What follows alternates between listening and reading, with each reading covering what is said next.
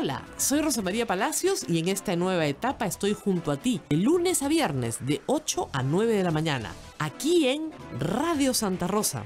Buenas nuevas en tu vida. A pensar más con Rosa María Palacios, de lunes a viernes a las 8 de la mañana. La Pontificia Universidad Católica del Perú está en el top 10 de universidades en América Latina según el ranking QS Mundial 2024. Uno de nuestros mejores indicadores en el ranking es la reputación entre empleadores, el cual evalúa las percepciones de empleadores destacados en todo el mundo sobre en qué universidades están los mejores graduados. En ese aspecto hemos mejorado 43 posiciones y nos encontramos en el puesto 75 a nivel mundial. Visítanos en www.pucp.edu.pe. En todo el Perú, son las 8 de la mañana. Las opiniones vertidas en este programa son de exclusiva responsabilidad de quienes las emiten y no representan el pensamiento de Radio Santa Rosa.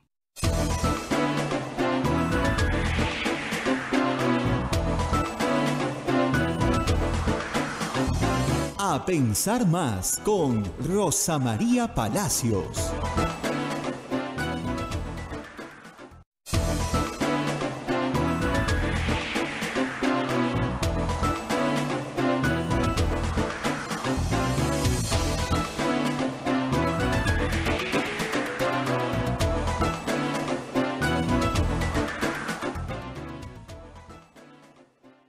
Muy buenos días, señoras, señores. Bienvenidos a Pensar Más con Rosa María Palacios.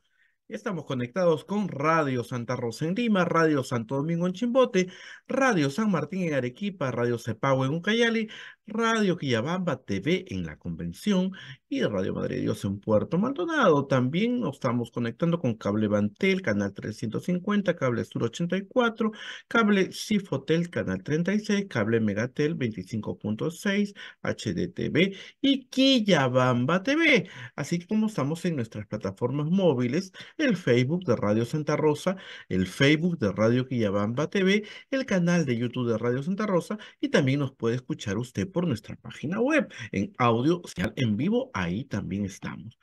Muy bien, hoy día es 20 de marzo del año 2024 y qué tal semanita o qué tal media semana que tenemos.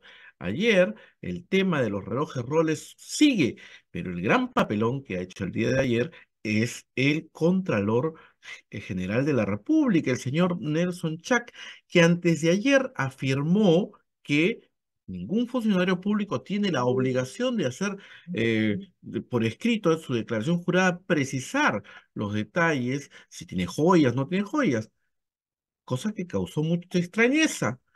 Los analistas y los conocedores del tema decían que el señor Contralor estaba equivocado. Su propio sindicato le corrigió. Imagínense usted que tuvo que salir a cambiar de, de, de versión. Entre el papelón del Contralor, el mal genio del señor Gustavo Adriansen, que ha demostrado por todo sitio, y las medias verdades de la presidenta y los lindos Rolex, estamos ya listos para empezar el programa con Rosa María Palacio. Rosa María tiene su relojito muy útil, pero no es Rolex, ¿no, Rosa María? No, no, plastiquito nomás, plastiquito. Pero muy útil porque, bueno, primero da la hora, ¿no? Que es lo importante. Y segundo, me cuenta los pasos, que es lo más importante. Muy bien, tenemos que empezar el programa esta mañana saludándolos a todos y recordándoles que primero vamos con los auspiciadores. La Pontificia Universidad Católica del Perú es la universidad número uno del país en el cumplimiento de los objetivos de desarrollo sostenible, de acuerdo al ranking Times Higher Education 2023. Este logro refleja nuestro compromiso por la construcción de una ciudad inclusiva, segura, resiliente y sostenible. Visítanos en puc.edu.pe. Y les recordamos a todos ustedes que nos pueden ayudar. Lo único que tienen que hacer es capturar el QR que aparece en pantalla y de esa manera hacer una contribución a Radio Santa Rosa, que es una organización sin fines de lucro. Somos una radio pastoral que vive de la divina providencia y de la caridad de organizaciones católicas. También, si usted no vive en el Perú, no tiene acceso a una billetera electrónica, está muy lejos, pero tiene una tarjeta de crédito, lo único que tiene que hacer es utilizar el sistema PayPal. Es muy sencillo.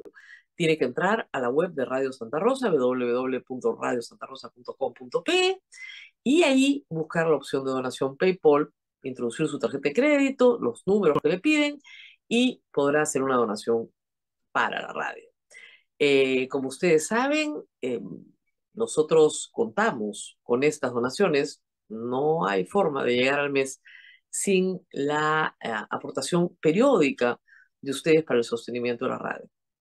Y por supuesto, agradecemos a los que lo hacen periódicamente y a todos los que participan en las actividades de Radio Santa Rosa, que son muchas, paseos, viajes y otras cosas que siempre vamos anunciando.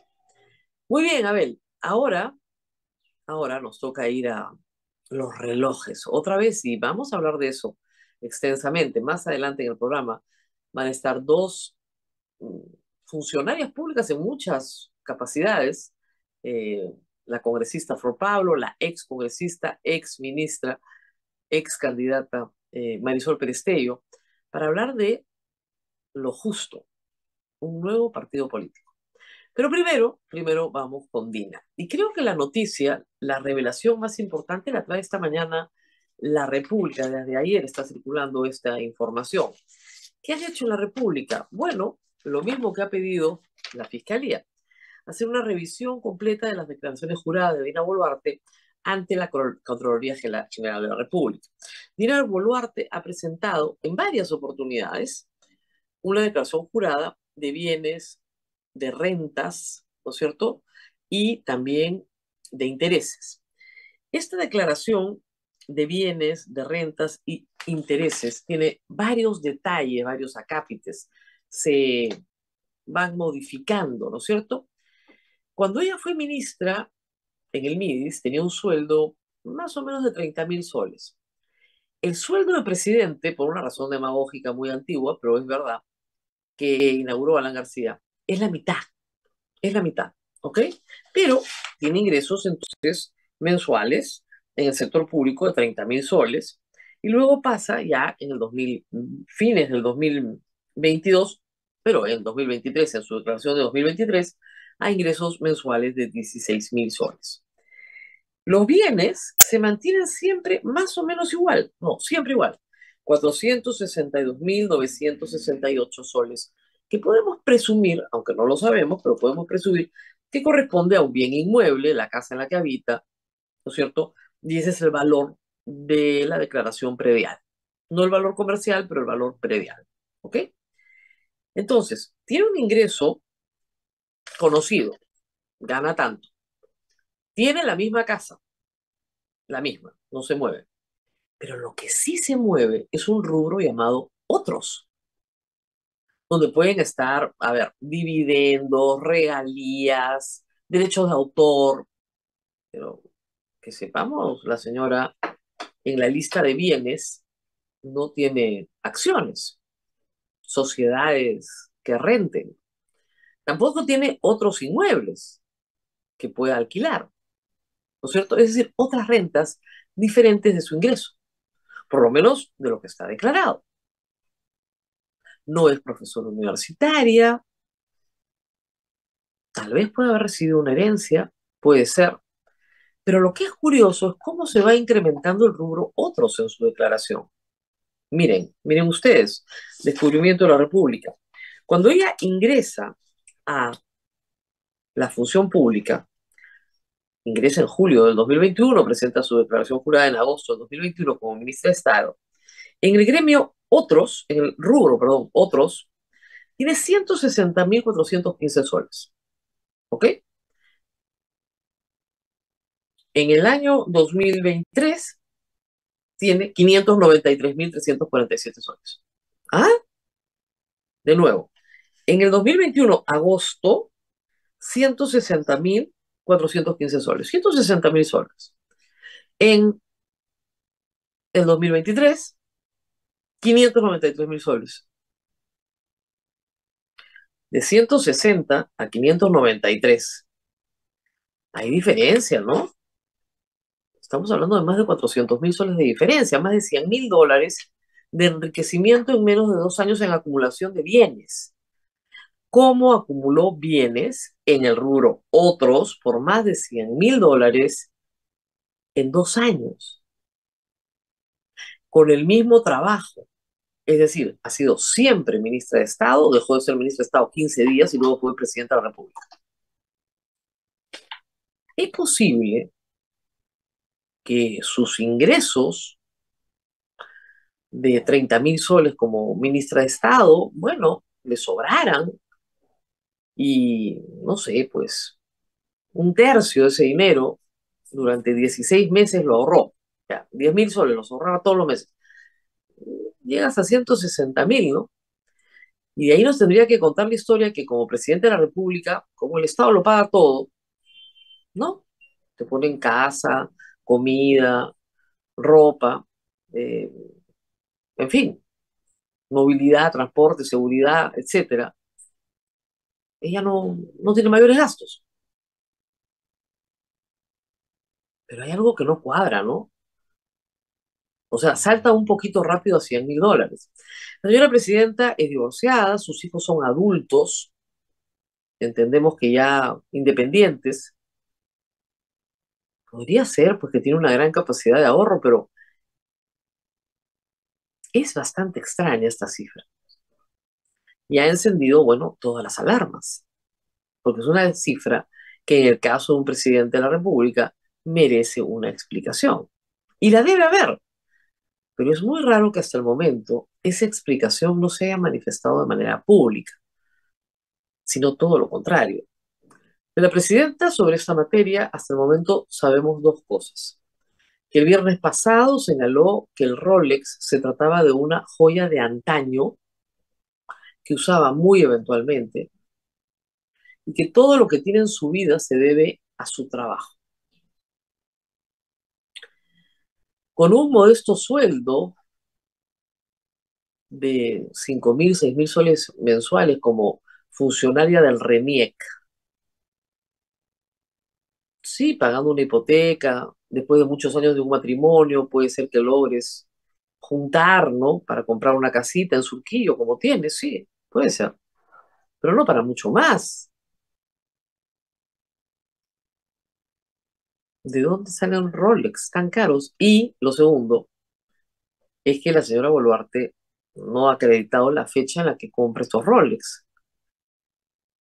Y los Rolex, como se ha explicado, son joyas que tienen trazabilidad. Se puede establecer perfectamente qué fecha lo compraste. Y como han dicho varios expertos en la materia, el reloj que ha exhibido, el rosado, un Rolex rosado, Dios mío, este, eh, no es una joya de antaño, lamentablemente. Es una colección reciente. ¿Cómo es? ¿Cómo es esta historia? Donde a veces con colecciones recientes hay listas de espera. La gente se anota, los que coleccionan este tipo de bienes se anotan, porque son coleccionistas. Los relojes Bamba sí son más baratos, pero hasta el momento la señora no ha dicho que sea un Bamba. Los relojes antiguos, Rolex, los vintage de verdad, hay relojes Rolex de los 40, de los 50, de los 60, son valiosísimos, por si acaso. Por si acaso. Tienen también un valor importante. Pero en fin, si uno los hereda, los hereda, ¿no? Los compró otra otra generación. Hasta el momento no hay explicaciones y lo que sí hay es papelones. Y vamos con papelón número uno. El Contralor. El Contralor el día lunes dice en unas declaraciones que en realidad no hay ninguna necesidad de declarar un reloj, reloj por reloj. Eso no funciona así, dijo ante la levantada de ceja de todos los que conocen de esta materia, incluido el sindicato de trabajadores de la Contraloría, que ayer ha sacado un comunicado corrigiendo al Contralor. ¡Qué vergüenza, ¿no? Con las normas, ¿no? Al Contralor no le quedó más remedio que grabar un video, él mismo. él graba un video diciendo que sí hay que declararlo todo, que el rubro otros, que ahí se colocan los bienes joyas, eh, los bienes muebles, pueden ser automóviles, o artículos de valor. Como por ejemplo, joyas, dice la norma, joyas, cuadros, artículos de valor, muebles, pero de valor. Los inmuebles van aparte. Y si tú tienes una lista de relojes que vale cada uno más de dos UITs, tienes que declararlos uno por uno. Hay gente que anexa, porque los cuadraditos son muy chiquitos, anexa un documento. Ese es el comunicado de los miembros del sindicato, recordándole al contralor cuáles son sus normas, las que él tiene que hacer cumplir. Daniel Llovera al toque sacó en la cuenta de Epicentro una investigación que hizo Epicentro el año pasado, contando que en los dos primeros años de la gestión del Contralor, él mismo se olvidó de pagar parte de sus ingresos. No lo más grande, ¿no? sino más bien lo más pequeño, pero se olvidó de poner, por ejemplo, sus rentas como profesor universitario en cinco universidades y en la Escuela Nacional de Control, que luego corrige al año siguiente. No hay ningún desbalance patrimonial, pero se le advirtió al Contralor que no había colocado el íntegro de sus rentas. Pero en fin, parece que no sabía que había que poner pues en hoja aparte todo lo que tienes. ¿Por qué? Esto es por morbo, para saber qué es lo que tienes. No. Esto surge, les voy a decir, en este siglo, justamente a raíz de todos los procesos de corrupción de la dupla Fujimori-Montesino. Se comienzan a establecer mecanismos de fiscalización y control del patrimonio de los funcionarios públicos en el Perú, sobre todo de los altos funcionarios públicos. Entonces, se exige primero una declaración jurada de bienes y de rentas, luego se amplía una declaración de intereses y ha ido, ¿no es cierto?, evolucionando esta declaración. Pero lo cierto es que desde que Dina Boluarte está en el poder tenía que presentar una declaración detallada de sus artículos de lujo que superaran dos UITs. Eso no se hace público, porque eso es la parte que la Contraloría conserva en reserva. Pero sí se hace público lo que acabamos de leer, el consolidado. Es decir, cuánto por ingresos, cuánto por bienes, cuánto por otros, que son otros ingresos. Qué cosa, ¿no? Qué complicada la situación. Entonces el Contralor se apuró a decir que sí, que todo, que todo se declara. Pero no le avisaron al señor ministro, Gustavo Algancén, que salió nuevamente en defensa de la señora presidenta y otros ministros repitieron lo mismo, diciendo que la señora presidenta no tenía ningún desbalance patrimonial porque así lo había dicho la Contraloría que yo sepa, del año 2023 no hay un informe de Contraloría sobre el balance presidencial de la presidenta, patrimonial de la presidenta, que yo sepa. Por lo menos no lo hemos visto. ¿Ok? Por si acaso. Dos, que no podíamos estar declarando todo, que ya lo ha dicho el Contralor. ¿En qué vamos a terminar? Dice Daniel declarando un lapicero, las medallitas de bautismo, las alianzas matrimoniales. Bueno, si tu alianza matrimonial cuesta más de dos suites, sí la tienes que declarar. Este anillito de matrimonio no cuesta, pues, más de dos suites. Pero si le metes algunas cositas al anillito, puede costar lo que quieras. Entonces, de repente sí tienes que declarar tu alianza matrimonial. La norma es dos suites, no si te dieron una medalla en tu bautizo la norma es dos suites. Esos son tus bienes. ¿Qué nos interesa? Que al salir de la función pública tengas más o menos los mismos bienes que tenías al entrar, salvo lo que te pudo haber ingresado durante, ilícitamente durante el tiempo en que estuviste en la función pública. Menos tus gastos, ¿no? Porque nadie es fakir, ¿no? La gente gasta. Para eso trabaja, ¿no? Para pagar sus gastos porque la señora Dina Boluarte, por más bien atendida que esté en Palacio de Gobierno, bueno, tiene que pagar pues la luz, el agua, el teléfono de su casa, ¿no? Algunos gastos tiene. ¿Cómo haríamos? Es una situación complicada, requete complicada. El señor Adriansen quedó ayer en offside, el Contralor ya había cambiado lo que había dicho, había rectificado.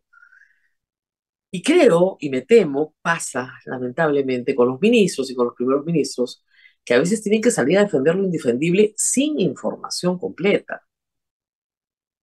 Y ese es un problema, porque el señor Adriansen, yo no creo que haya tenido a la vista las declaraciones juradas de la presidencia del Consejo de Ministros, perdón, de la presidenta de la República.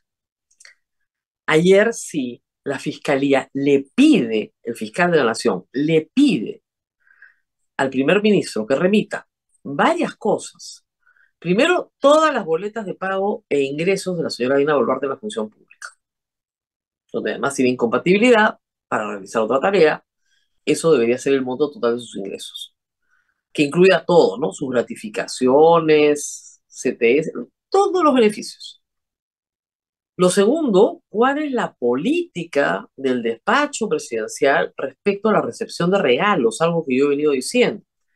Hay un decreto supremo aprobado, el último que conocemos, en tiempos de Sagasti, sobre política de recepción de regalos en el despacho presidencial porque como les explicaba, hay un protocolo donde normalmente interviene Cancillería.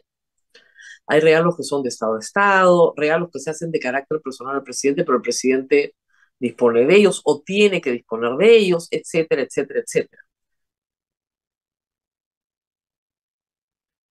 Un informe, si es que existiera, dice el fiscal, de la aplicación de esta normativa. Y las fotografías de todos los relojes utilizados en eventos oficiales por la señora Dina Boluarte y su identificación si es que pertenecen o no a patrimonio del Estado. Y también se solicita a PCM que se remita la política y los gastos realizados en objetos personales que exhibe la señora presidenta en eventos oficiales. O sea, la información completa. Yo creo que es un paneo completo de cuál es la situación de la presidencia de la República. Si toda esa información existe y es muy fácil de presentar al país, el mismo viernes la señora presidenta hubiera dicho, miren, voy a dar una conferencia de prensa con el presidente del Consejo de Ministros, con la Secretaría General del PCM, que tiene todas las cifras, y vamos a hacer eh, una publicación del inventario de mis bienes personales para satisfacer, bueno, la necesidad de transparencia que tiene el público sobre la conducta de su presidente de la República. No tenemos nada que ocultar. Acá está todo. Y sí, la gente dirá, oye, qué barbaridad, o qué mucho, o qué poco, o qué le falta, o qué le sobra. Sí, va a haber un momento, tal vez de modo pero no va, a haber no va a haber una imputación penal por enriquecimiento ilícito y por falsa declaración en documento administrativo, que son las dos imputaciones por las cuales se le investiga preliminarmente. Ha dicho el señor Aviancín que le sorprende la velocidad. A mí me sorprende la falta de velocidad del señor Adriancén. En un tema de esta naturaleza, inmediatamente se activan todas las alarmas, se maneja como crisis e inmediatamente se presenta toda la información. Cuando comienzas a demorarte muchos días en presentar la información, lo que está pasando es que o no hay una explicación legal o hay una explicación penal, que es más grave. No sabemos cuál va a ser el descargo de la presidenta de la República, pero ya no basta decir yo he trabajado desde los 18 años, he juntado todo lo mío con honradez y esta es una joya de antaño, porque ninguna de esas aseveraciones parece ser cierta. Y para los que lo han olvidado, lo dije ayer, lo vuelvo a repetir, ayer me lo recordaron, lean el libro eh, Presidentes por Accidente de Christopher Acosta. La señora presidenta se graduó de, abogada a los 40 años. Antes de esa fecha fue ama de casa. La señora se divorcia, sí, seguramente ella y su esposo tenían un patrimonio, Ahí hay un ganancial, salió ese matrimonio con el ganancial que le correspondía, estudió Derecho y recién entra a trabajar a RENIEC, que es su primer y único trabajo, porque sus actividades en el Colegio de Abogados son ad honorem y sus actividades en el Club Apurímac yo presumo que son ad honorem también. Por lo cual, no hay más. Eso es lo que tenemos sobre la mesa. Entonces, ni trabajo desde los 18 años, ni joya de antaño. Hay muchos que se están preguntando, y tenemos tiempo para esto, ¿qué va a pasar? Por esto se la bajan. Ayer escuchaba al congresista Mulder decir que el Congreso la tenía que vacar, si es que no podía acreditar pues la propiedad, etcétera, etcétera. Que por menos se han vacado presidentes, sí, pues por menos se han vacado presidentes, es verdad. Que no han debido vacarse, ojo, ¿ah? pero por menos se han vacado presidentes. Muy bien. ¿Ustedes creen realmente que esto va a acabar con la vacancia de la presidencia de la República? Es posible, pero no ahora. Si estuviésemos en marzo del año 2025, yo les diría, sí, ya está, listo, ya tienen la excusa. Pero el Congreso necesita a Dina Boluarte, porque si Dina Boluarte es vacada o ella renuncia, tenemos que ir a elecciones generales y los 10 partidos que están en el Congreso no van a perder el poder cada día más omnipotente que tienen hoy. ¿Ustedes creen que realmente el Congreso va a perder? Por supuesto, van a salir a decir, sí, qué barbaridad. Estamos esperando una explicación. La Fiscalía tiene que actuar. Que la Fiscalía actúe. Con Pedro Castillo estarían diciendo presente en la moción de vacancia hoy día para sacarlo. Ahora es que la Fiscalía actúe. Rafael López Alvear ayer se reunió con Adrián C. en su bancada, una ronda para ver ¿no? el voto de investidura para Adrián C. Pero en la mañana anterior había estado con Dina Boluarte. ¿De qué van a hablar en medio de esta crisis? ¿De las mejoras para Lima? ¿O de la necesidad que se quede en el puesto todo lo que se pueda? ¿Por qué hasta el próximo año? ¿Por qué hasta el 28 de julio de 2025? porque el Congreso no puede ser disuelto el último año de su mandato. Entonces, si se convocan elecciones, ya están convocadas, asume el presidente del Congreso, como pasó con Sagasti, y chau pescado. Asume Valentín Paniagua, chau pescado. ¿Ok? Porque ya están convocadas las elecciones. O están por convocarse. El último año de su mandato, el Congreso no puede ser disuelto, dice la Constitución. Ampáguenles algo. Ponemos a un congresista que nos guste, a Soto, que les encanta, que les permite hacer barbaridades. Y salen de Diego Boluarte, que en realidad no la necesitan para nada, es un lastre. Que responda por sus 50 muertos, por su Rolex. No nos interesa, no es de nuestro club. Nos interesa en la medida en que nos mantiene sentados en la silla, en el poder. Por eso que no va a pasar nada. Ahora, la fiscalía puede iniciar toda la investigación preliminar, demorarse un par de meses, luego establecer que en efecto hay una serie de asuntos graves, puede acusar ante la Subcomisión de Acusaciones Constitucionales a Dina Boluarte, y ahí queda. Y ahí queda hasta que deje de ser presidenta, lo que ocurrirá el próximo año pero ya tenemos una presidenta con una acusación constitucional que no puede aprobarse porque el artículo 117 prohíbe que sea acusada. El presidente Castillo dice que puede ser denunciada, entonces puede ser denunciada ante la Subcomisión de Acusaciones Constitucionales, más no acusada por el 117. Y ahí queda. Y en julio del próximo año se activa y el 28 de julio la vota. ¿Qué tal? Ese es un camino, ¿no? Ya tiene la excusa. Y no van a ser los 50 muertos. Porque los 50 muertos son parte de una retórica que creó el propio Congreso. Todos son terroristas, por lo tanto merecen morir. Si todos son terroristas y merecen morir, Dina Boluarte tiene que quedarse en el poder. Retórica que Dina Boluarte y Alberto Tarona comparten falsa, por supuesto, es una retórica, es una figura, pero no, no es real. pero es lo que comparten. Así que así estamos, a ver. Yo creo que ese es un gran caso y que conforme pasan las horas y el reloj la sigue marcando, el calendario marca los días y no hay una respuesta razonable y ya estamos miércoles, la situación es gravísima. Y lo que, único que sabemos público de Dina Boluarte es que ha ido a visitar un abogado. Nada más. A ver cómo sale de esto. A ver cómo sale de esto. Miren, es el equivalente a Otárola y la señorita en cuestión. Y el famoso video de 15 minutos. Que si salía, Otárola tenía que renunciar en el acto. Es más el morbo, ¿no? Al final de cuentas, Otárola dijo yo me voy, no, no por los muertos, ¿ah?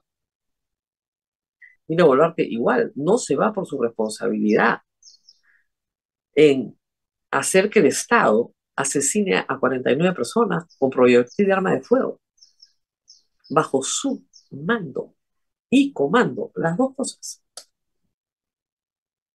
Porque es la Fuerza Armada y la Policía Nacional la que le dice a Dina Boluarte que todos son terroristas. Y como todos son terroristas, se les puede matar.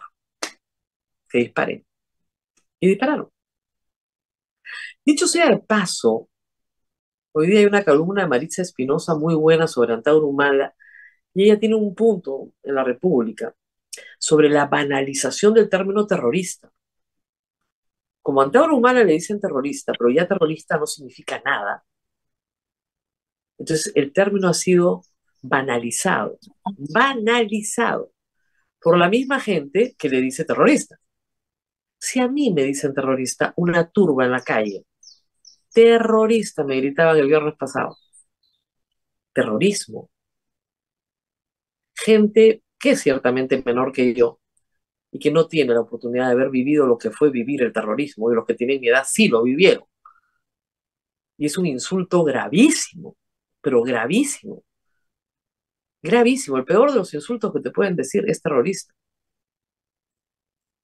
Pero han banalizado el término y lo ha banalizado la derecha peruana y sus fuerzas de choque. Y lo han analizado tanto que el ejército sale y mata porque, bueno, todos son terroristas, o la policía dispara porque todos son terroristas. Y en el sur peruano saben que no son terroristas. ¿Y quién va a cosechar de esta banalización? Santa Humala. Ah, por supuesto que va, va a cosechar de esta banalización. Ahí tienen su monstruo, creado por ellos mismos. Muy bien, es la hora de partir a la pausa, pero regresamos con Marisol Perestello y Flor Pablo, que publicaron la semana pasada una foto en Twitter que ha dado mucho que hablar, porque no hay demasiada información, solamente sabemos que están formando un partido que se llama Lo Justo. Vamos a ver. Pausa y regresamos. Vamos a la pausa y volvemos con Lo Justo. Estás escuchando A Pensar Más con Rosa María Palacios.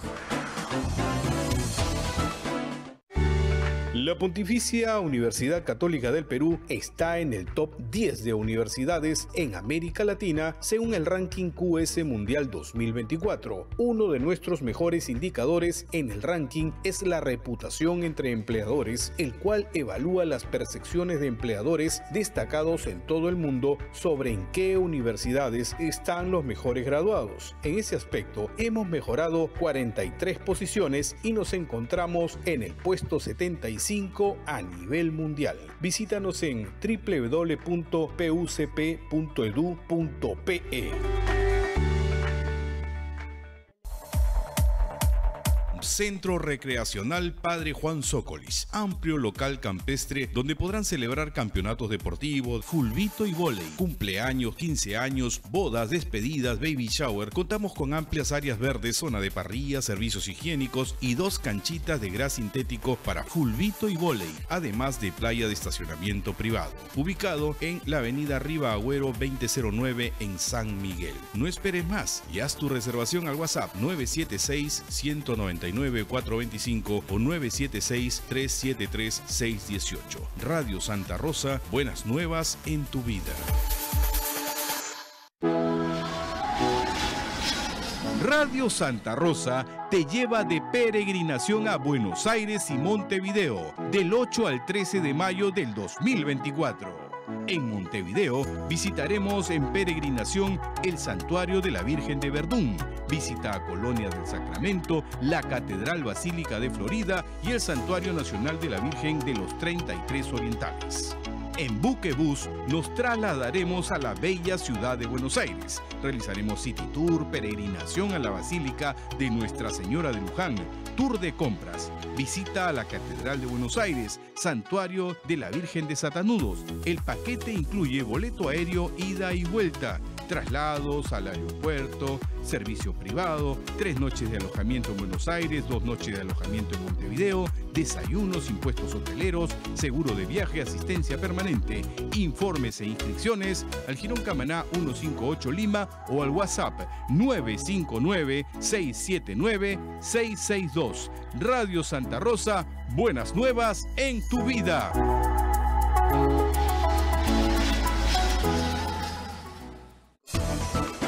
Estás escuchando A Pensar Más con Rosa María Palacios.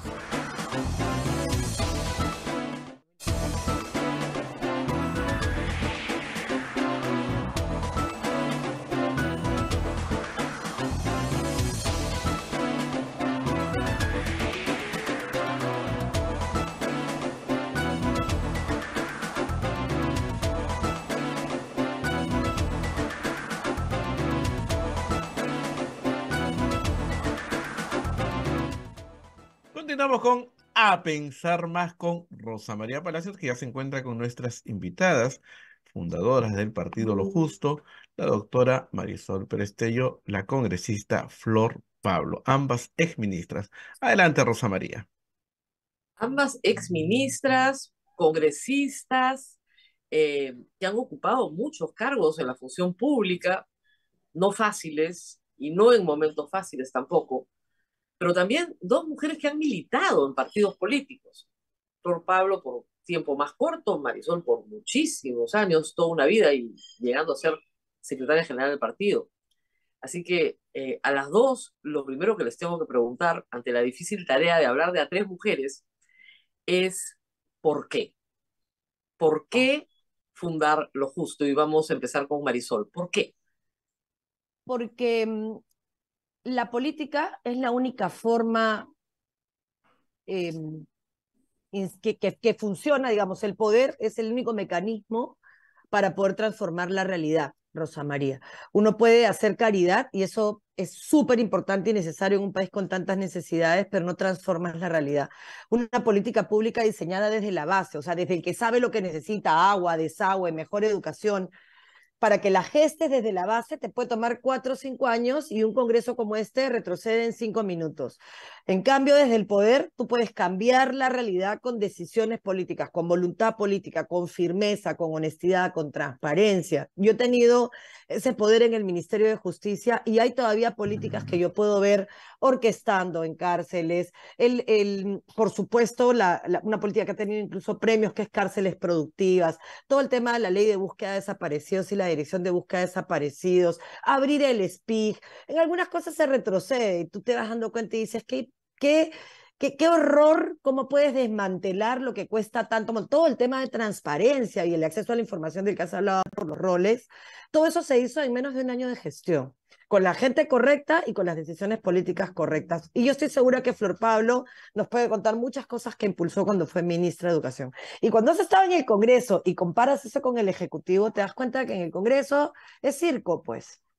Y salvo que construyas una política pública que se topa con el que decide, por ejemplo, la consulta previa en el lote 1AB, que terminó en 90 días de una toma de rehenes y casi un incendio y un daño ambiental espantoso, o en Bagua antes, ¿no? Errores del Congreso que destruyen a la gente. Te sientas con otra persona que ha vivido lo mismo que tú y con otras personas y dices, ¿por qué?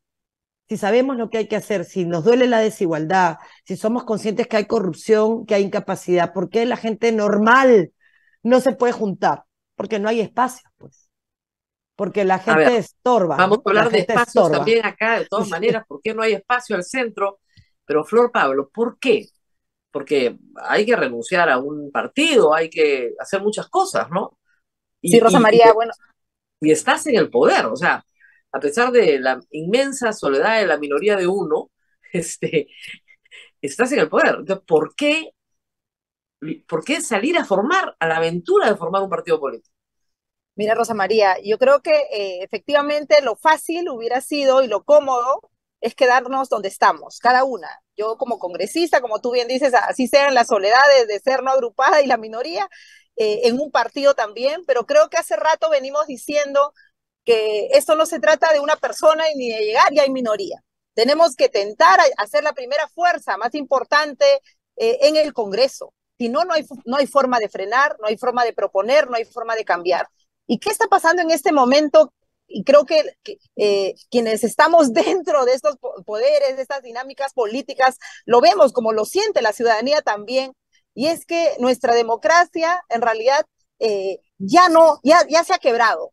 Yo no podría decir incluso ya híbrida cuando tú tienes un tribunal constitucional que ya no defiende las cosas que un día defendía y está alineado a, un Congreso eh, que lo eligió, cuando tú tienes un defensor del pueblo que ya no defiende a la ciudadanía nuevamente y está alineado al Congreso que lo eligió, cuando ves un Congreso que se esfuerza por desestabilizar, por sacar a los miembros de la Junta que hemos visto recientemente. Bueno, han sacado a dos por una, se supone, por forzando, ¿no? Una situación por algo que debió haber sido, si era, bueno, si todos eran responsables, ¿por qué no todos y solo dos, ¿no? Porque en realidad, pues, hay un afán de copamiento muy, muy, muy, muy duro, muy peligroso. Creo que estamos en un autoritarismo del Congreso, se ha quebrado la, el equilibrio de poderes. ¿Y eso por qué es importante? porque sin democracia, sin institucionalidad, no hay forma de avanzar en desarrollo. Mire, yo que vengo de una defensa de la educación, de una agenda en educación, ¿qué acción inconstitucional voy a ir a hacer al TC si a quienes le he dado la razón son a los contrarreforma?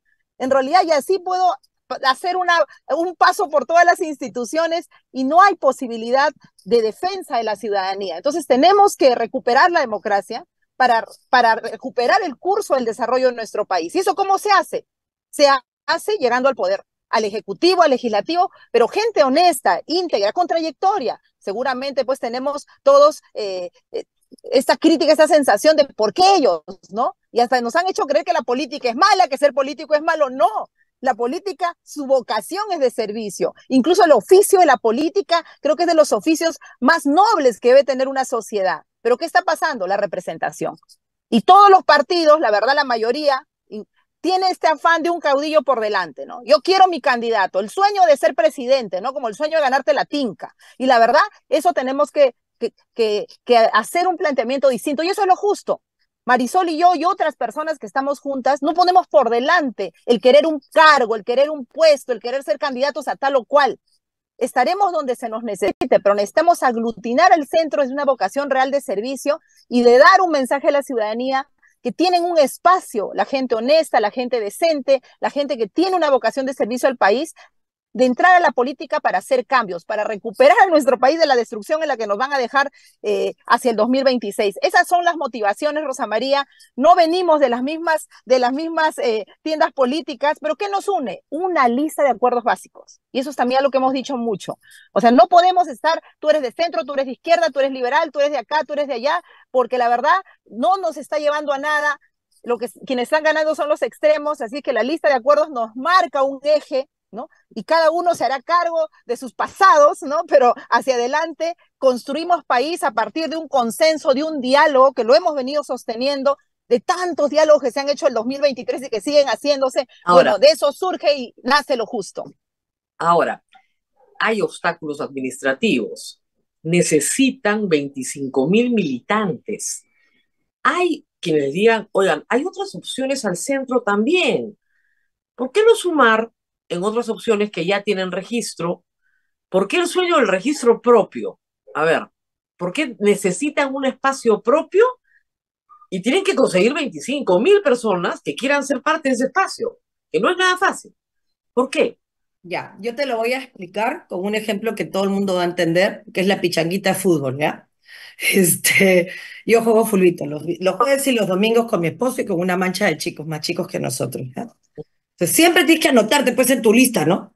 Te anotas. Los lunes al mediodía todos nos anotamos. Y se hacen dos equipos. Cuando hay gente que en la, en la banca, pero todos saben que si te anotas a la hora que llega la lista, tienes la misma posibilidad que el otro de jugar. Aquí no.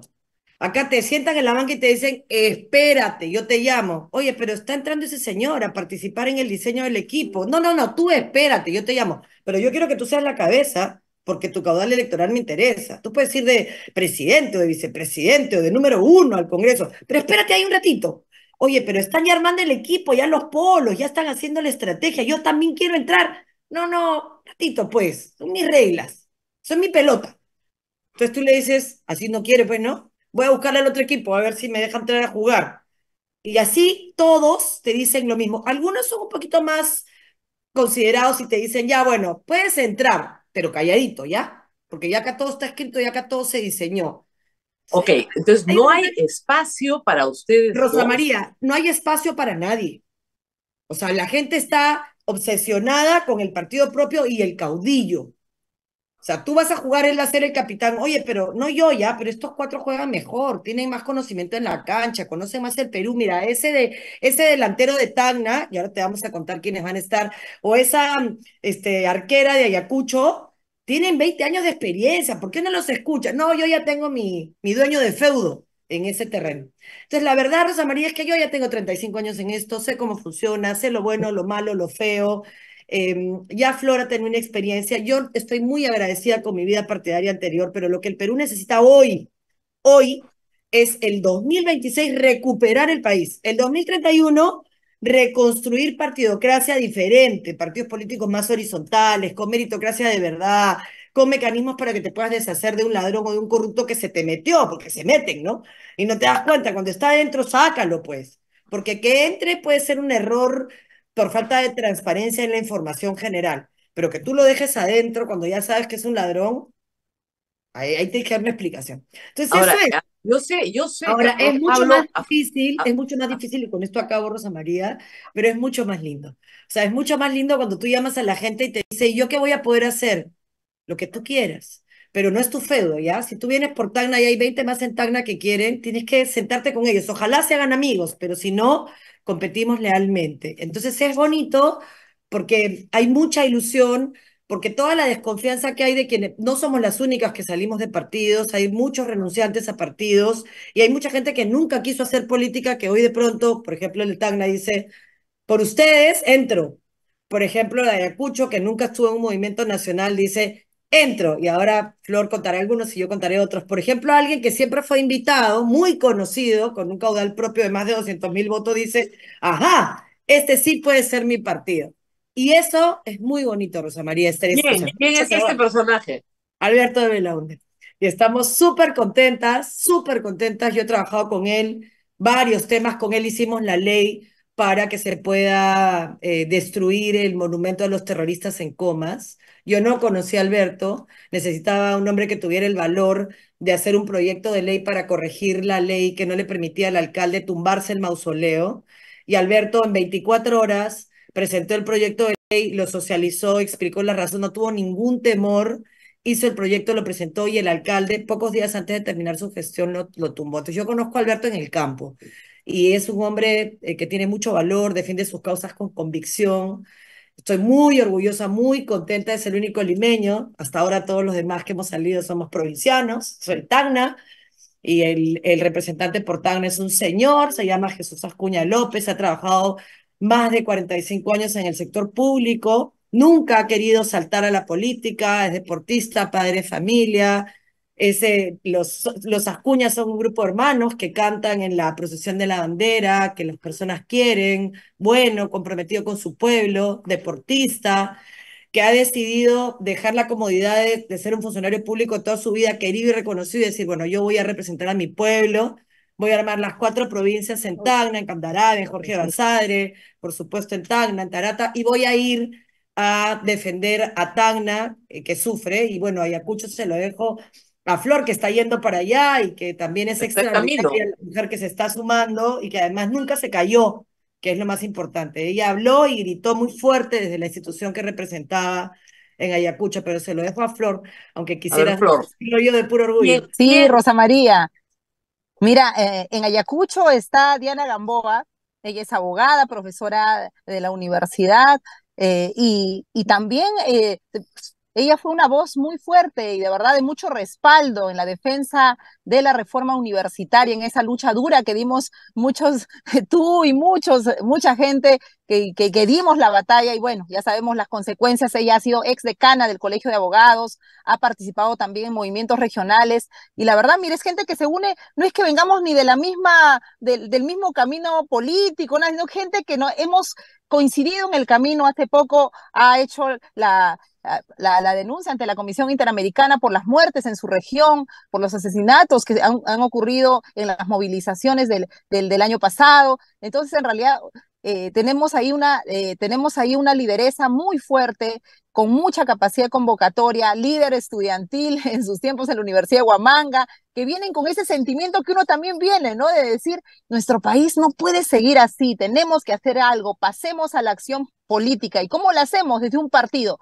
¿Cuál es el partido? Ahí está la duda de muchos. Entonces, después de una búsqueda, Rosa María, porque no es que no seamos conscientes de que hay varios, y ojalá de verdad nos estén escuchando y digan, bueno, sumámonos, y sumámonos, pero ¿cuáles son las reglas además de integridad, capacidad y amor por el país? La regla es que no tenemos que poner por delante quién es el candidato. El candidato o la candidata será quien tenga la mayor capacidad de arrastre, porque ¿qué queremos? Queremos ganar. Queremos ser la primera fuerza más importante en el Congreso para recuperar nuestro país. Y eso no se hace poniendo los egos por delante. El yo quiero ser, yo siempre quise ser, mis amigos me dicen que yo debo ser.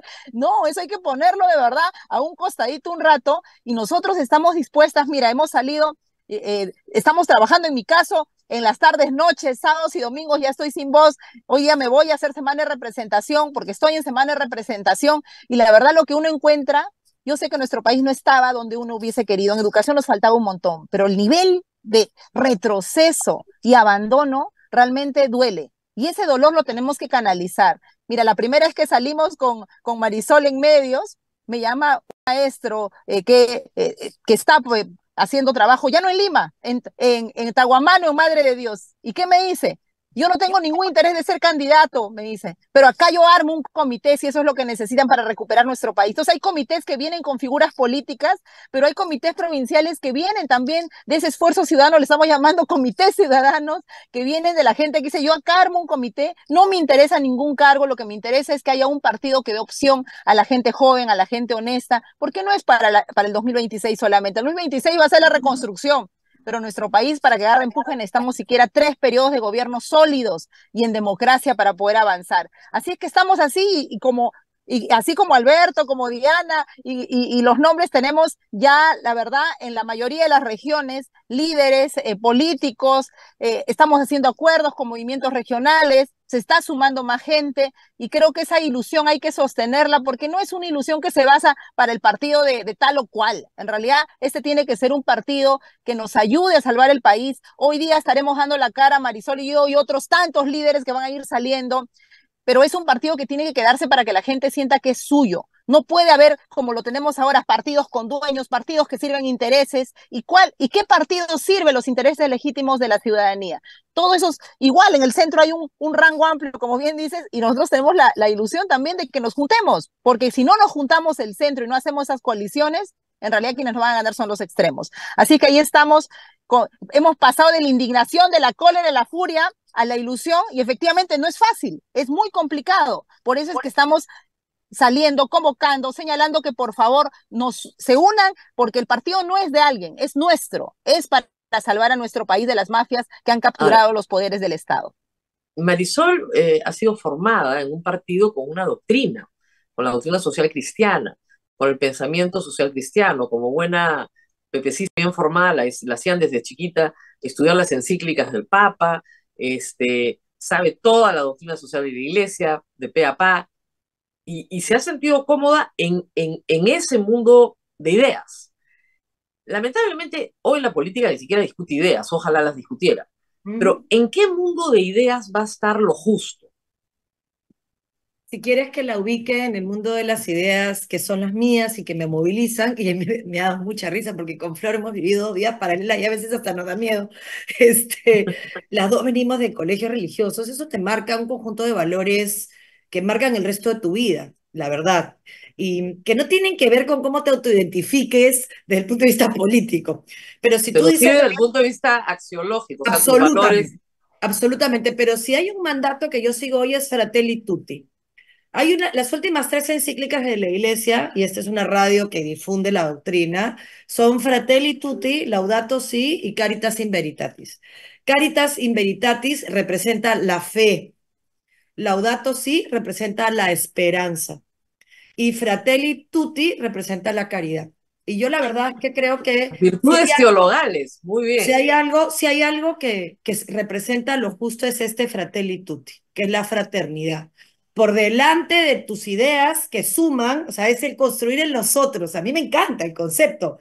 Yo pienso y hablo desde el yo, pero escucho y siento desde el tú, y así construimos el nosotros. Entonces, la realidad que ha vivido Flor y la realidad que he vivido yo siendo distinta nos encuentra y nos permite construir el nosotros. ¿Qué es el nosotros de lo justo? www.lojusto.org, que es acuerdos mínimos en libertades, todas sociales, democráticas, económicas, por supuesto, pero con justicia social. Y eso no es otra cosa que la distribución justa de la riqueza para crear igualdad de oportunidades e igualar hacia arriba, no hacia abajo. Entonces, el, el, yo no he renunciado y no renunciaré jamás a lo que creo, no puedo, porque son mis convicciones, pero Fratelli Tutti, yo pertenezco, te lo he contado alguna vez, a la Academia de Líderes Católicos que el Papa directamente promueve, de hecho soy parte del grupo que escribe los contenidos a nivel internacional, en el Perú hay una academia en Pucallpa, hay una academia en Lurín, y en esta academia animamos a la gente a hacer política. Católica, pastorales, y le decimos, entren a hacer política, no un partido político, entren a hacer política con sus valores. ¿Qué es lo que nos une en lo justo? Los valores y ejes programáticos. ¿Qué valores? Valores vinculados al ejercicio del poder público. Integridad, transparencia, pero trans no es yo soy bueno. A ver, enséñame, enséñame tu Rolex, ¿no? Ah, tú eres bueno, allá, trazabilidad de tu patrimonio. Ah, no quieres, ándate a tu casa. No aceptamos violencia intrafamiliar, procesos de alimentos, aunque no haya sentencia. O sea, si hay una persona que tiene denuncias de esa naturaleza, le decimos, resuelve primero tu vida familiar y después vienes.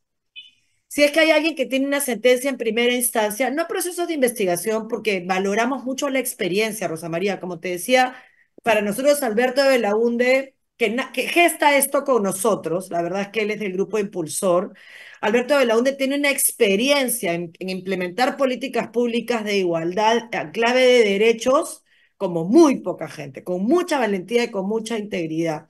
Eh, Diana Gamboa, desde el Colegio de Abogados de Ayacucho y desde su militancia en movimientos estudiantiles, es una mujer a la que yo si- sin ninguna vergüenza le puedo decir a las personas con las que trabajo en Soras, en Cayara, en Putis, en Uchurajay, confíen en ella, porque su trabajo, sus documentos, su lucha frontal contra el Estado denunciando lo que pasó en Ayacucho el 15 de enero, hablan por ella. Y lo mismo en Tacna, Jesús Ascuña tiene 49 años en la función pública, 49 años trabajando por el deporte, trabajando por la juventud, trabajando por los valores patrios que en Tacna son consustanciales a nuestra naturaleza, no sangrantes que lo. Entonces, eso a Rosa María hace que esto ilusione.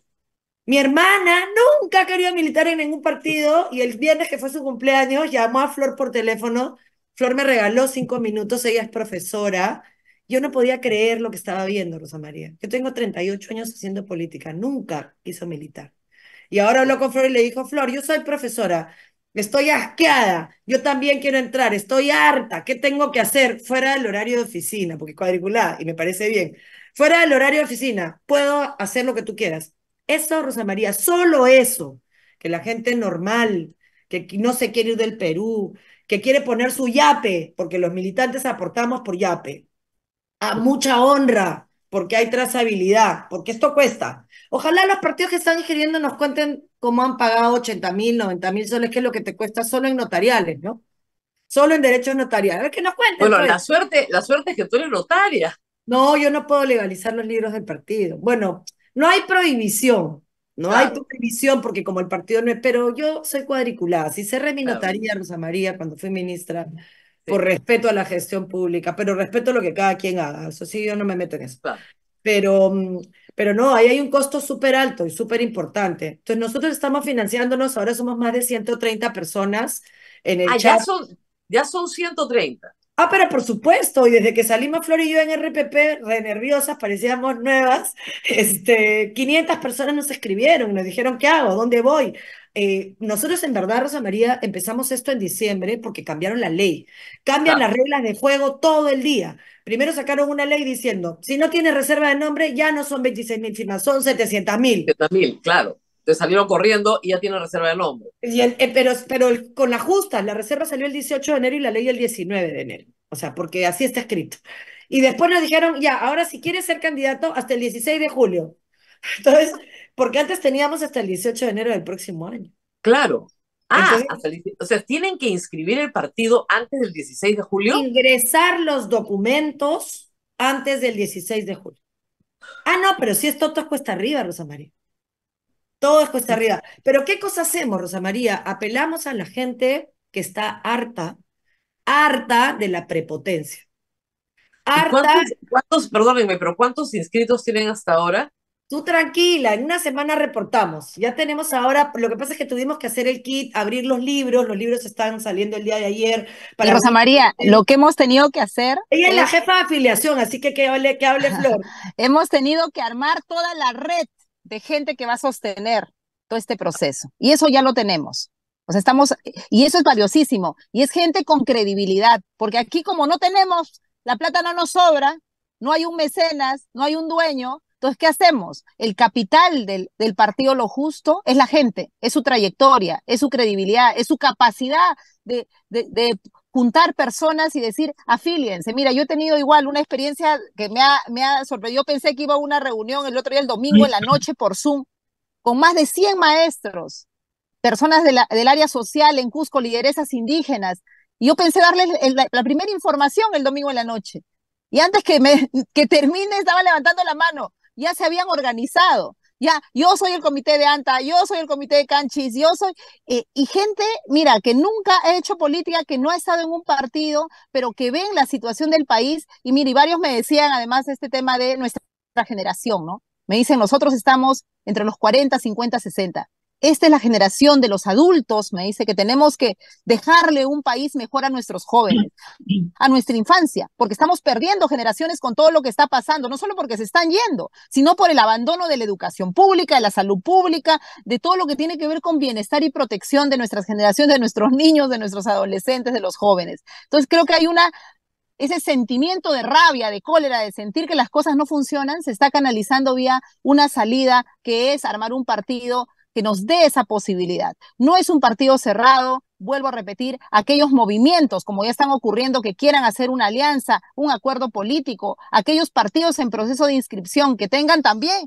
esa misma actitud de decir, no estoy por el candidato, el candidato no está primero, lo que está primero es el país y unos acuerdos mínimos, este es el lugar donde tenemos que encontrarnos, porque si no, en realidad estamos haciéndole el juego a las mafias. No podemos seguir eligiendo, como siempre hemos dicho, entre el cáncer o el SIDA, entre el mal menor, basta, basta podemos hacer que la historia sea distinta, pero requiere efectivamente chamba, compromiso, decisión, y en ese camino estamos. Nos hemos puesto, hemos tenido, eh, es como cuando nadie quiere, ¿no? ¿Quién quiere? Bueno, acá hemos dado el paso, no solo dos personas o diez, en realidad más de cien personas hemos dado ese paso y, tenemos que seguir sumando y creo que en ese camino estamos y te agradecemos también, de verdad que nos des este espacio porque sabemos que mucha gente se va a unir a www.lojusto.org que nos sigan en nuestras no se redes muevan, también. No se muevan, no se preocupen, no se muevan. Tenemos que hacer una pausa cortísima, pero vamos a rezar todavía con ustedes. Muy bien, Tranquila. gracias. Tenemos un ratito más. Vamos sí. a la pausa y volvemos. Vamos a la pausa, Rosa María. Estás escuchando A Pensar Más con Rosa María Palacios.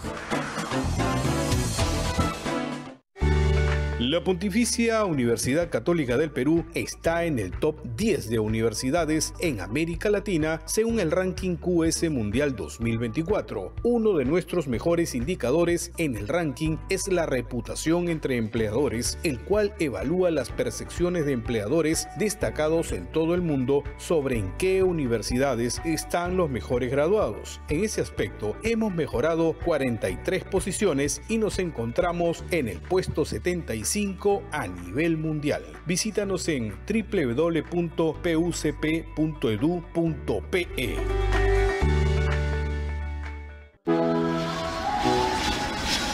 Radio Santa Rosa te lleva de peregrinación a Buenos Aires y Montevideo del 8 al 13 de mayo del 2024. En Montevideo visitaremos en peregrinación el Santuario de la Virgen de Verdún, visita a Colonia del Sacramento, la Catedral Basílica de Florida y el Santuario Nacional de la Virgen de los 33 Orientales. En Buquebus nos trasladaremos a la bella ciudad de Buenos Aires. Realizaremos City Tour, peregrinación a la Basílica de Nuestra Señora de Luján, tour de compras, visita a la Catedral de Buenos Aires, Santuario de la Virgen de Satanudos. El paquete incluye boleto aéreo ida y vuelta traslados al aeropuerto, servicio privado, tres noches de alojamiento en Buenos Aires, dos noches de alojamiento en Montevideo, desayunos, impuestos hoteleros, seguro de viaje, asistencia permanente. Informes e inscripciones al Girón Camaná 158 Lima o al WhatsApp 959-679-662.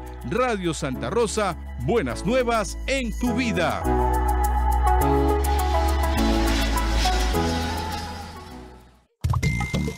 Ahora es más fácil colaborar con tu primera emisora católica del Perú. Ya tenemos Yape, Tunki y Luquita. Es muy fácil, solo tienes que escanear el QR y listo, el código QR de respuesta rápida, sin colas, sin pérdida de tiempo y sin exponerte, desde la comodidad de tu casa y colaboras con el sostenimiento económico de Radio Santa Rosa. Buenas nuevas en tu vida. En Radio Santa Rosa, una enseñanza para la vida. Cuando vos veas un gobernante que no puede exterminar al crimen organizado es porque está frente a un gobernante que muy probablemente sea cómplice del crimen organizado. Por eso detestan tanto a Bukele, porque está mostrando la verdad en el campo de la seguridad. Y lo detestan en el nombre de los derechos humanos. Los derechos humanos de los que violentan derechos humanos. No, no, no, no. Acá hay que proteger en primer lugar los derechos humanos de las víctimas inocentes.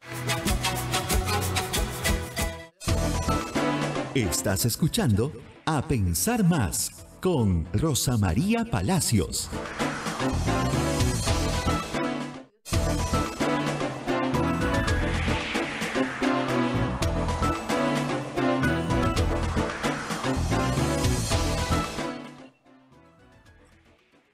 Continuamos con A Pensar Más con Rosa María Palacio, que se encuentra conversando con las fundadoras del partido político, nuevo partido político Lo Justo, la congresista Flor Pablo y la exministra Marisol Pérez Tello. Adelante, Rosa María. ¿Qué corren contra el tiempo? Los acaban de explicar que para julio tienen que tener todo ingresado, pero que están teniendo una buena aceptación. Y yo les quería preguntar, porque a nos informa que nunca faltan los trolls que entran eh, por supuesto, eh, Flor Pablo es multimillonaria, llena de consultorías y es terrorista comunista. Y eh, Marisol Prestello es, agárrense, fujimorista. Nos ha quedado todo clarísimo. Entonces, esos son los ataques que ustedes van a tener que soportar. Marisol, porque sale de un partido que ha tenido posición. Y los partidos yo creo que tienen que tener posición, buena o mala, pero tienen que tenerla. Y eh, Flor, bueno, no sé por qué, porque creo que la ven como una potencial candidata a la presidencia y hay que chancarla, ¿no? Eso es lo que yo creo. Pero a ver, ¿cómo van a hacer para manejar esta andanada de ataque? Que en política es lo que pasa, además, ya lo sabemos. mira, eh, yo, iba a contestar. Eh, mira, yo creo que no, entrar a política tiene ese costo. Rosa María, y un costo bien duro, denunciar, decir la verdad, hacerle frente a, a las contrarreformas, a los grupos de interés, todo informar con la verdad, todo tiene un costo, lamentablemente, y un costo bien duro, ¿no? Que, que, es el ataque personal, la difamación, las mentiras y lo más duro todavía que se metan con la familia de uno, ¿no? Con los hijos, con el esposo, porque es lo que buscan es bajarnos, bajarnos, desanimarnos, eh, hacer que, que sintamos miedo, ¿no? Y que digamos, mejor no hay que seguir. Pero bueno, en realidad yo ya pasé esa línea también. Así como de, ya decidimos arrancar y construir un partido, yo ya no tengo miedo. Y, y creo que, que, no quiere decir que no me cuide, que no sea prudente, pero ya ese tipo de ataques en realidad lo que evidencia es más bien al revés. O sea, que al otro lado es que nos temen. Entonces hay que canalizar esa energía para más bien aglutinar a gente que tenga la misma vocación, la, las mismas, los mismos valores y las mismas luchas por un mejor país. Mira, en realidad, eso, por ejemplo, las consultorías, ¿dónde surge, Rosa María? Surge cuando me interpelaban como ministra de Educación por defender el currículum, eh, un currículum ciudadano con una historia, pues, que, que cuente la verdad de nuestro país recuperando diversas fuentes. Y ahí se inventó el Fujimorismo, y eh, nosotros, eh, y ahí diciendo que yo le había pagado a mi esposo que jamás ha trabajado en el Ministerio de Educación y nada, todos se han inventado, porque como le he dicho a varios congresistas cuando me sacan este tema, bueno, vamos a la fiscalía y denúnciame si fuera cierto. No tengo una denuncia sobre este tema, pura mentira, pura difamación y ando querellando a los que a los que me difaman y haciendo frente. En su momento no lo hice porque efectivamente todavía venía del campo más técnico y pensé que informando, no, no, no, yo ya acá ya estos dos años, casi tres años en el Congreso, me ha enseñado quién es quién y qué intereses defienden. Y aquí yo me paro a defender los intereses de la ciudadanía, una educación de calidad, a un Estado democrático, un equilibrio de poderes, a una, a, una posibilidad de hacer empresa desde la legalidad no desde la informalidad, no desde esa ilegalidad que afecta a nuestro medio ambiente, que afecta a nuestras comunidades indígenas. Miren lo que ha salido hace poco, la ley forestal, la ley que favorece la minería ilegal, y detrás, ¿quiénes están? Están los partidos. Entonces, lo que quieren es, pues, amedrentarnos. En la época de la reforma, de la defensa de la reforma universitaria, Rosa María, te contaré que hasta un anillado imprimían en el, en el Congreso y lo repartían escaño por escaño con una serie de mentiras.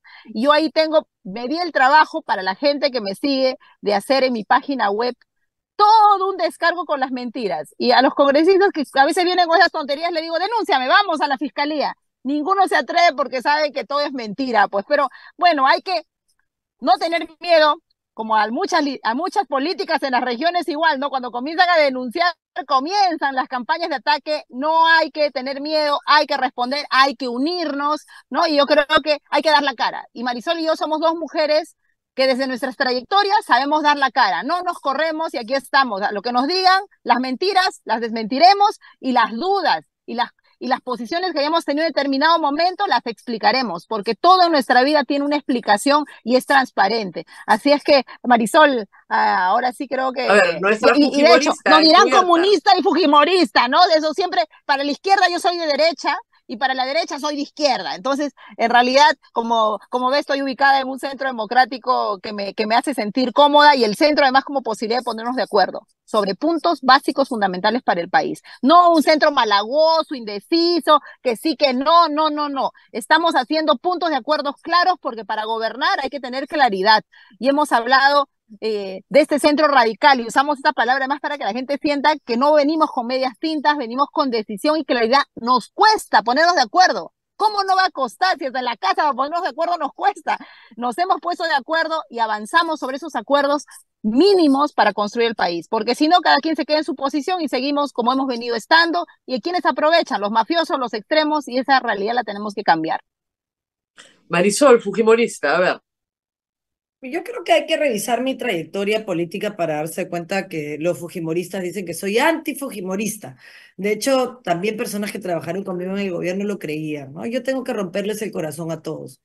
Yo no soy anti nada. Este, creo que eso no es racional. Yo lo que hago es cuestionar eh, situaciones concretas que no acepto y que creo que deben de asumir responsabilidades penales, en el caso, por ejemplo, del señor Fujimori.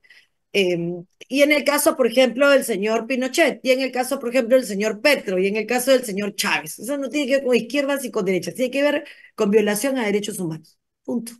Entonces, si, si es de izquierda si es de derecha el que viola derechos humanos, ese es otro tema. pero tiene que asumir su responsabilidad penal, porque la única manera, yo creo en la misericordia, pero por supuesto, creo que nadie debe morir en la cárcel, pero por supuesto, pero creo que la misericordia termina donde empieza la justicia, porque si no, no, no, hay, no hay posibilidad de reconciliación verdadera. Mira, este año, el 13 de mayo, va a volver a salir la Virgen María en Cayara, después de 35 años, Rosa María. Eso la gente no lo entiende, ¿no? Claro, para, que, para mí es, es brutalmente significativo, porque quien no se enteró, en el Perú mataron, y Fujimori, aunque no fue el ejecutor material de Cayara, porque eso fue durante el gobierno de García, sí denunció a las mamitas de Anfacep que estaban buscando justicia y los restos de los cuerpos de sus hijos perdidos en Cabitos 30 años antes. Y por eso es que en Ayacucho esta, esta acusación a Fujimori va no porque fue el autor material, sino porque permitió la impunidad, generando, entre otras cosas, o intentando generar em, amnistías que blindaran a los autores materiales de esas matanzas. Entonces, ¿por qué yo voté por Keiko Fujimori? Como mucha gente lo hizo en el Perú. La diferencia es que yo lo dije. Porque yo no soy cobarde, yo no escondo mis votos. Di una explicación. Puse mi carta que ustedes pueden ver en el Twitter en esa época donde le decía a la señora Fujimori, ni por un minuto creas que confío en ti ni que te creo. No te creo. De hecho, tengo miedo de que vayas a pretender tomar el poder judicial. Yo me voy a poner al frente, no voy a estar a tu lado, no voy a hacer gobierno si tú ganas, pero ese señor me da más miedo, porque a ah. ti sí te sé combatir. Si yo tengo fuerte un check and balance, fuerte un control de poderes, si garantizo que nadie se meta con el poder judicial, porque ella no ha podido sola, para poder cargarse a la Junta, el Fujimorismo ha necesitado aliados. ¿Y quiénes se han aliado? Todos los demás. Todos todos los demás. Entonces, eh, claro, probablemente hubiera pasado lo mismo que ha pasado ahora con ella en el poder, porque han demostrado que son lo mismo. Pero ahora, hablando, hablando de todos los demás, hablando de todos los demás que es Solo, solo termino con esto, María. En este momento había que decir por el Perú.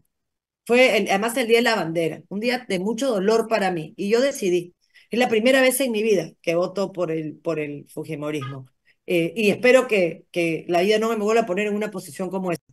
Espantosa y para eso es que hay que combatir, hay que combatir lo que representa esta, esta, esta suerte de, de firmeza. Se puede ser firme, se puede tener liderazgo, se puede combatir la inseguridad, se puede terminar con el terrorismo con inteligencia policial, con inteligencia militar y con firmeza.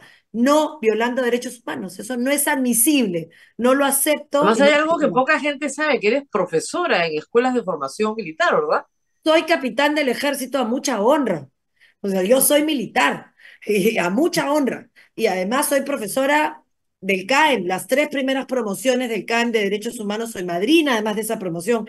El general de la policía actual, el jefe máximo, Víctor Sanabria, fue uno de mis alumnos más destacados y es el que ha enseñado derechos humanos a toda la policía. Yo le tengo mucha fe y espero que haga un extraordinario trabajo y pueda aclarar cualquier cosa que se haga mal y que se sancione con rigor a quien ofenda el uniforme.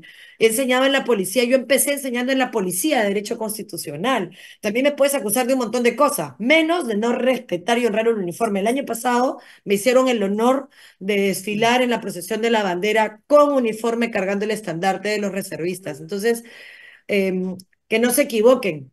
Si alguien pudo hacer que la cúpula de Sendero se quedara en la cárcel, fue el, de velar Soras.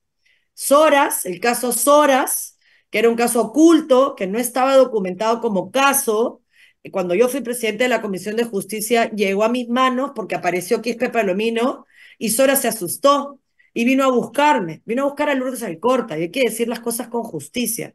Ella hizo una comisaría en Soras después de 30 años y dijo, no, lo de los muertos, que lo vea Marisol. Los cuerpos, eso no entiendo. Y yo fui a Soras con mi esposo, muy asustados, y descubrimos que habían 117 personas asesinadas a machetazos y a pedradas en un día, el 16 de julio, en manos de Quispe Palomino. Y el caso se judicializó, se terminaron de entregar los cuerpos, Comiset, que ya venía trabajando, pudo formalizarlo, y la cúpula de Sendero se quedó en la cárcel. Así que tengan mucho cuidado cuando acusen a gente que ha enfrentado el terrorismo de tener simpatía con el terrorismo. Solo que yo combato al terror con la ley, porque si no me convierto en lo mismo. Rosa María. Sí. Rosa María, yo quisiera eh, que no se me pase un tema, hemos estado hablando de las campañas de difamación, de, de, de todas estas situaciones que, que nos comprometen, pero mira, la semana pasada me llega del, del Congreso a uno de mis asesores, a Diego Pomareda, eh, un, el inicio de una investigación, un proceso disciplinario con la causa grave. Lo que quieren es despedirlo por no respetar, por no promover, por no asegurar la dignidad parlamentaria. Ah, caramba. Diego Pomar, ah, mire, se me ponen dignos ahora.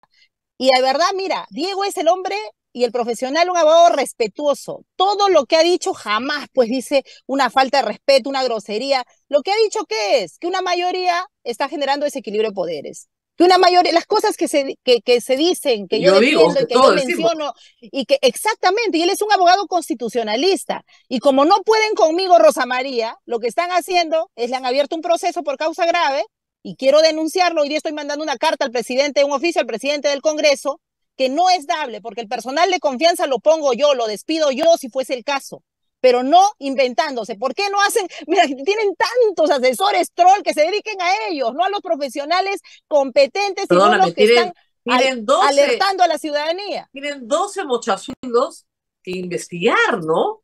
Mira, pero, pero, y con pero, la justa raspando, porque así, así es, y denuncian a Diego Pomareda por disque, disque no defender la dignidad parlamentaria, ¿no? Es casi diciéndole, como te paga el Estado, porque no le, o sea, que, que, se confunden también, piensan que ya es la plata del presidente, me tienes que defender a mí y no a las, y no a las causas bueno, justas, el presidente, tomando el, el criterio profesional. Congreso, ¿no? El presidente del Congreso tenía su granja de trolls, debe estar acostumbrada a eso y nadie bueno, lo va a por que lo hagan sus asesores. Mis asesores y la gente que trabaja conmigo defiende la democracia, defiende causas justas, tienen voz, son profesionales. Y mira lo que están haciendo. Claro, como no pueden conmigo, lo que quieren y no sorprende a la ciudadanía que comiencen a despedir, inventarse cosas para la gente que trabaja en mi despacho. Yo estoy mandando un oficio porque el oficial mayor se nota que tiene tiempo, no se le ocurre mejor idea que comenzar a mirar todos los tweets que son absolutamente técnicos y profesionales, por supuesto con opinión, como corresponde a un profesional. Así que denuncio eso, eh, Rosa María, eh, y habrá realmente que leerle, eh, voy, habrá a estar, que leerle la voy a constitución. estar ahí con, con Diego. Ah, Habrá que leerle Así la es, constitución. que hay libertad de no, opinión. No hay delito de opinión. Es bien sencilla. Así de es. verdad. No hay delito de opinión. Bueno, mucha suerte a ambas. Bueno, ojalá que puedas suerte. tener en estos días a Diego para que él mismo pueda explicar esta situación que es grave, que va en contra de un profesional y que realmente lo que buscan es debilitar mi despacho, ¿no? Ya no, no están contentos con no darme comisiones, con... les molesta, pues les molesta, pero que quiero que sepan que aquí seguimos y seguimos más fuertes. Muchas gracias. Bueno, además lo que están enfrentando en el Congreso, yo ya lo he dicho abiertamente, es crimen organizado. O sea, sacar una ley en el mismo día para beneficiar a la minería ilegal en 12 horas. Es y yo creo que todos los gremios, además de empresarios, que toleraban estas situaciones, porque bueno, pues hay que tolerarlas, se han comenzado a dar cuenta de lo que te cuesta enfrentar el crimen organizado cuando está en el poder. Ese es el problema. Pero es que eso es lo que enfrentamos, Rosa María. Si es que hay, si es que la batalla, la batalla no va a ser ideológica en el 26. Y no, y yo no digo que no haya gente buena. Seguramente hay mucha gente buena que de repente no es, no quiere ser consciente que lo que está detrás de esto, ya les han contado el cuento de los mineros artesanales. Oye, ese cuento desde mi época. Sí, no pues. dejaron que minería ilegal entrara como dentro del paquete de crimen organizado. Y, y yo quiero sumar a lo que ha dicho Flor de Diego, porque eso no lo podemos permitir. Diego es un muchacho de 40 años. Es el, o menos de 40 años. No, ¿qué 40? 30 y algo. Porque no está en juventudes, porque ya está muy viejo. Y entonces es un muchacho, en verdad, que está empezando su carrera. De pero 30 años, de 30, 30 años. Tiene No nos va a libros- perdonar que le hayas dicho de 40. Sí, me va a matar. Tiene libros publicados de Derecho Constitucional, libros. Es profesor universitario, es el más joven de una asociación de constitucional que se ha hecho entre los profesores de la Católica. Un muchacho al que yo cada vez que me escribe en la madrugada porque él me ayuda en legal, le digo, oye, anda, vive, anda, tómate una cerveza, deja de trabajar los estatutos. Súper comprometido con su país. ¿Y cuál es el mensaje para un muchacho como él que escribe en su Twitter? Defendiendo precisamente la dignidad del Congreso, el mensaje de que le abran un proceso administrativo. O sea, ¿de verdad? ¿Me están hablando en serio? Vamos a cerrar filas con él porque él es el símbolo de la arbitrariedad en su máxima expresión. sea, él va a conseguir chamba en otro lado, un muchacho de su edad que sabe lo que sabe, pero no se trata de eso. Si nosotros permitimos que le cierren la boca a una persona por pensar distinto, por decir las cosas como son con respeto, además con base constitucional, entonces nos estamos callando. Y es el silencio de los justos lo que termina permitiendo que los mafiosos se hagan cargo del... Así que nada, muchas gracias. mucho trabajo, muchas gracias. Lojusto.org.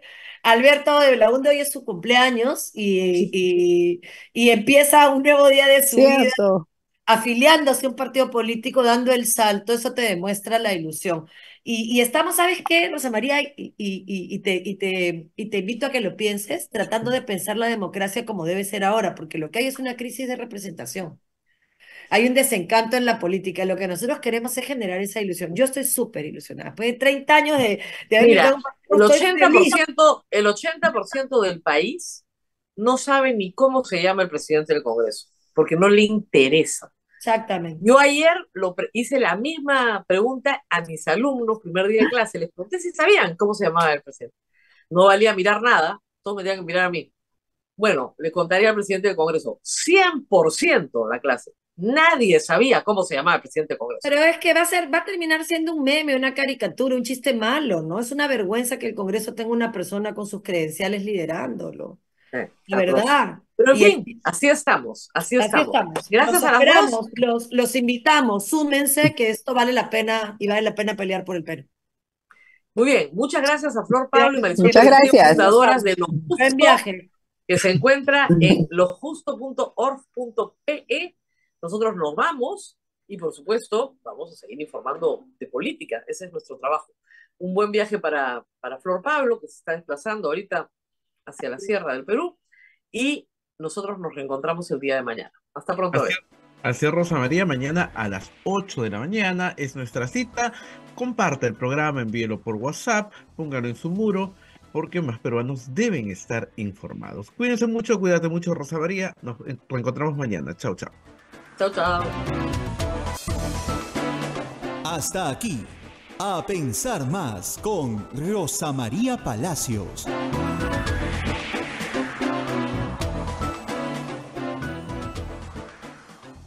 Las opiniones vertidas en este programa son de exclusiva responsabilidad de quienes las emiten y no representan el pensamiento de Radio Santa Rosa.